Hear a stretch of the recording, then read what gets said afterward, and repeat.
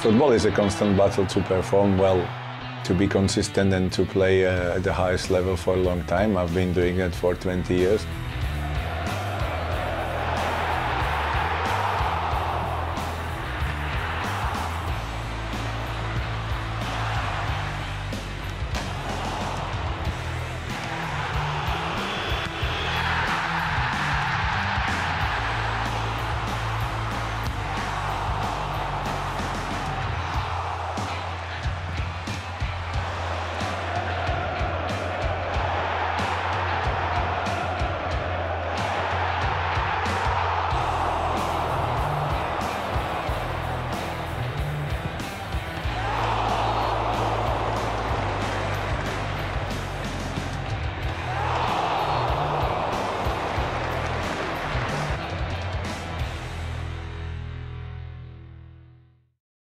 Guys, where are you going?